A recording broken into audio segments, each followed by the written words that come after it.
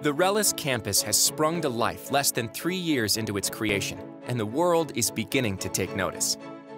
Located on 2,000 acres, the former Bryan Army Airfield is well on its way of being reinvented as home to seven new engineering research and laboratory facilities, two education centers, a workforce trades building, and a data center to serve this beehive of research and exploration.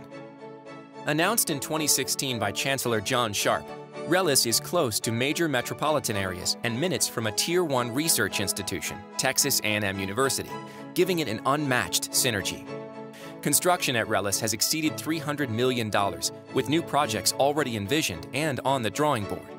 Last year, state leaders led by Lieutenant Governor Dan Patrick cut the ribbon on the legislature's long-term investment in the Center for Infrastructure Renewal, a rare facility that gives researchers and private sector clients the opportunity to develop advanced and sustainable materials and structural systems to reduce cost and extend the life, safety, resiliency, and durability of the nation's infrastructure.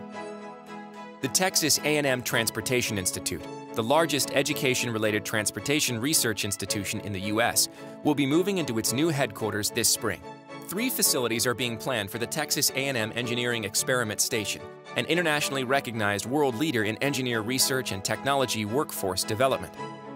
At RELLIS, researchers will be creating a better tomorrow, whether in robotics, autonomous vehicles, or cybersecurity, to name just a few.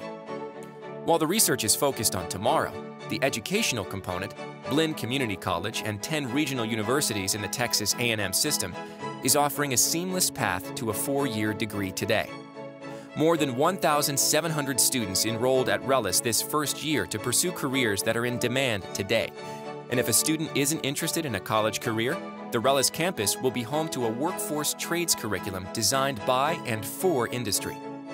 Corporations such as 3M and Kubota already have chosen to participate at RELLIS, while governmental entities, including the Army Futures Command, have visited the campus to discuss its possibilities for them. RELLIS is a reflection of the unique nature of the Texas A&M University system. Where else would you find 11 universities and 7 state agencies, a diverse group of individuals and missions, under one leadership and united with a focus on education, research, and service? The Texas A&M system has the talent and resources to continue to build on the momentum at RELLIS. We are limited only by our imagination and our ability to attract partners who share our commitment to the values reflected in the name. Respect, excellence, loyalty, leadership, integrity, and selfless service. Come see for yourself.